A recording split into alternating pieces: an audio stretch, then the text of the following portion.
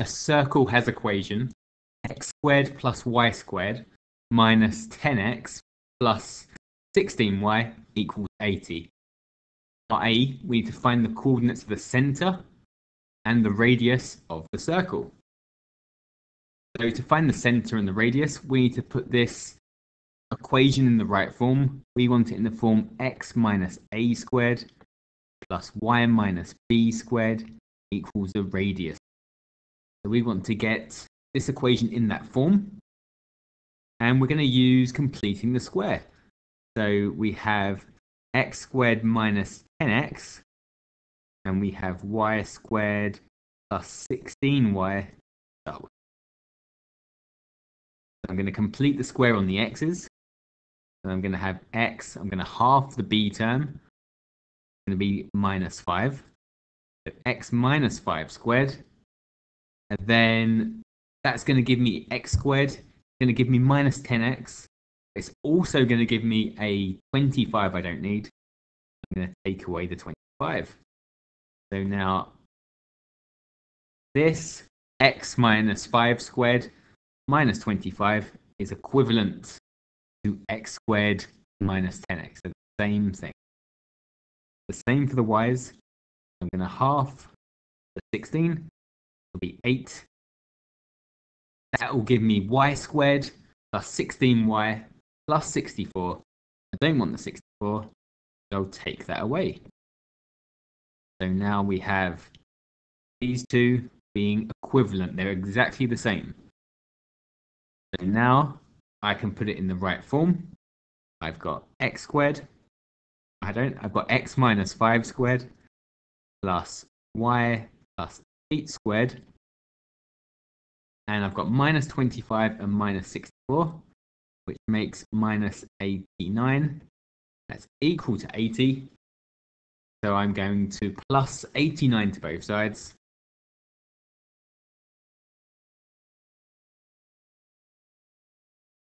give me 80 plus 89 is 169. So the center is at 5, negative 8.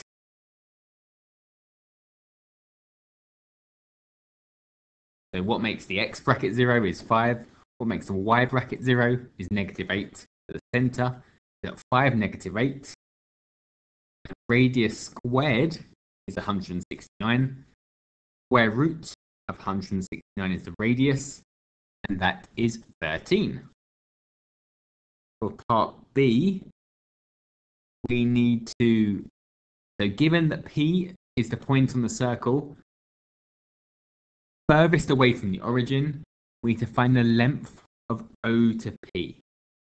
So we have circle, the center at 5 minus 8. The center's down here somewhere. The radius is 13.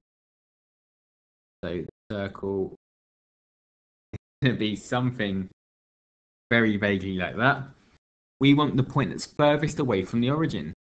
So the point furthest away from the origin and the closest to the origin are on the straight line that go through the center.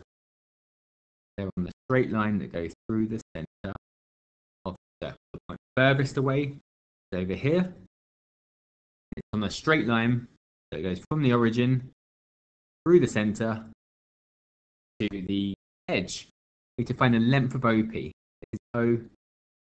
And we know the center is at 5 minus 8. And the origin is at 0, 0. And the center to P is a radius. That is 30. The length of this line, we can use Pythagoras to go from O to the center and then add on 13. So using Pythagoras, square root of 5 squared plus 8 squared, that will give us the length of the center, and then we'll just add on the radius, add on 13. So 8 squared 64. 5 squared is 25. So 64 plus 25 is 89. 24 plus 25 is 89.